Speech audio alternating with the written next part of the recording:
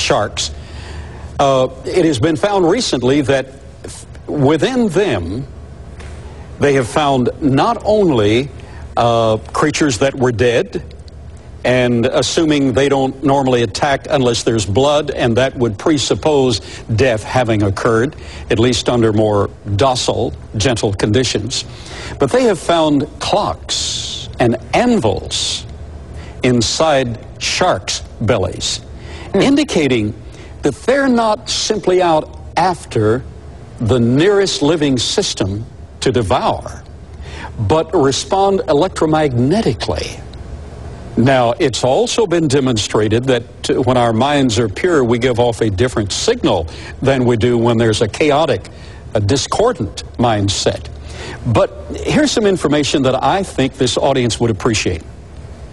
Some years ago, uh, I was at Texas A&M University. My wife was in the hyperbaric biosphere, hyperbaric medical chamber, not the biosphere. I hold the patent on the biosphere, but that's a hyperbaric oxygen facility at Texas A&M. She was taking treatments under conditions quite similar to what we have uh, had in the pre-flood world. She had an open wound on her foot that normally takes two to three weeks to heal, but under hyperbaric context, greater atmospheric pressure, and enriched oxygen, that wound healed in 45 minutes.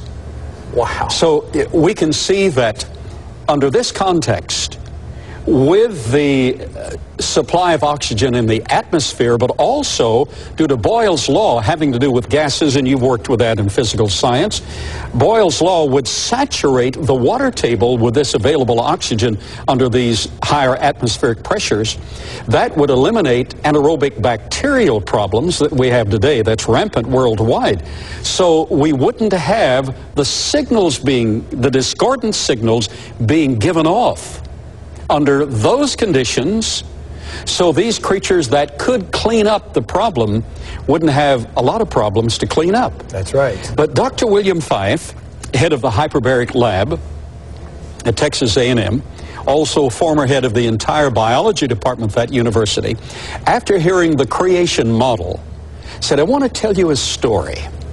He said, maybe this will add a chapter, or at least a paragraph.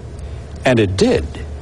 As I tell this story with the background of this great predator, he said, We ran an experiment on a university campus, and he was a biologist and had medical training as well.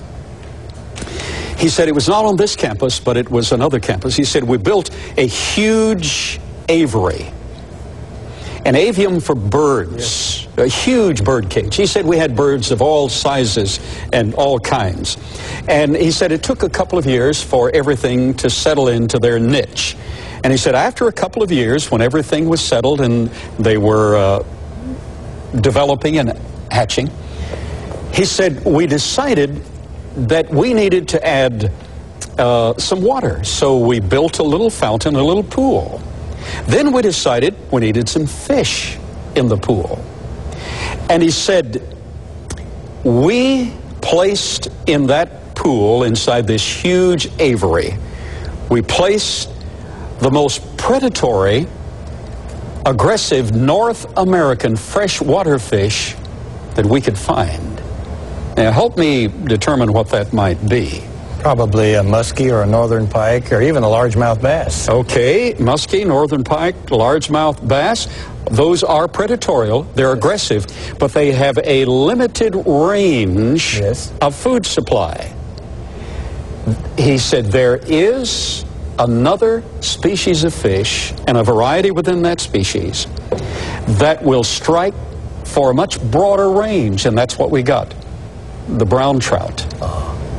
He said, uh, it'll go for minnows, it'll go for worms, it'll go for bologna, it'll go for peanut butter, it'll go for bread, it'll go for meal, a much broader range than those other predatory creatures that you described. So he said, we put some fingerling brown trout in the pool. We couldn't get them to eat. He said, we tried everything over a course of years. Everything minnows, worms, meal. Couldn't get them to eat anything. But they kept growing. He said, Dr. Sharp, he said, when we took them out he did his hands like that. He said those trout were that big. They were gargantuan, but they had never eaten anything. He said, We finally determined it was the bird droppings provided the nutrient salts that were simply assimilated by the brown trout. They never ate anything. They were not aggressive. They were not predatorial. They were contented. But they continued to grow. In this world of the dinosaurs, under pre-flood conditions, and certainly under Edenic conditions, we have a display that would not require aggression. No, sir. But would be satisfied now. That brings me to this final conclusion. It is not enough for you to be satisfied with academic pursuit and gratifying realization of mission accomplished. But you have a vacuum in your soul, a vacuum that only God can fill. Men know everywhere that there is a God, they just do not know who He is.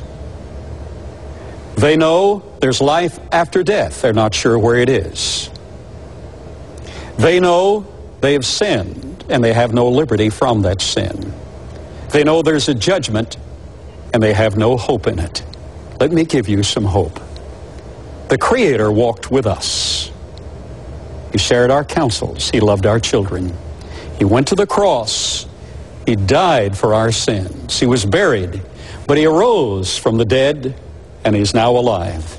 He's knocking at your heart's door. Would you pray this simple prayer? Just pray it simply with me. Dear God, I'm a sinner. I need you. I know that Jesus is knocking at my heart's door. Lord Jesus, right now, come into my heart. I open to you. Save me. Cover me with your blood. And I will serve you with all my heart.